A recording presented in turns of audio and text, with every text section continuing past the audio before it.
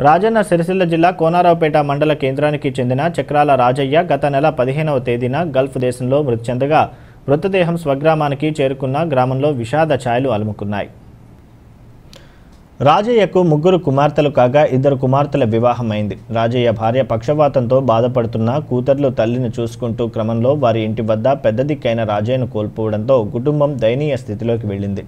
ఈ క్రమంలో కొందరు దాతలు ముందుకు వచ్చి వారి కుటుంబానికి ఆర్థిక సాయం చేస్తున్నారు. ఈరోజు గల్ఫ్ కార్మికులైనటువంటి శ్రీనివాస్ రవి ఐదు వేల రూపాయల ఆర్థిక సహాయాన్ని గ్రామ ఉప సర్పంచ్ దండు శ్రీనివాస్ చేతుల మీదుగా అందజేశారు.